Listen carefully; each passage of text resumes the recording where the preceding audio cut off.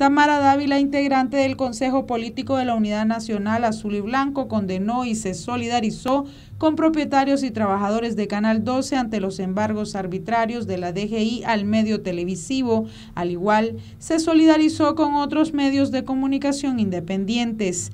La Unidad Nacional condena enérgicamente el embargo emitido contra todas las propiedades de Canal 12 por una falsa deuda fiscal.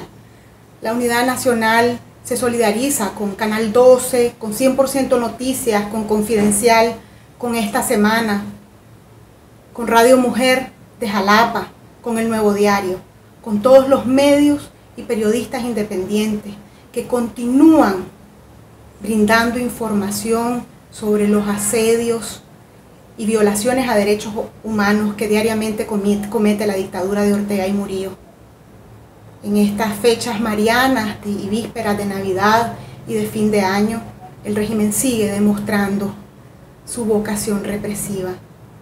En estas fechas, la Unidad Nacional también recuerda que el pueblo nicaragüense nunca ha dejado de luchar por su libertad y su independencia y que no dejaremos de luchar ante esta dictadura.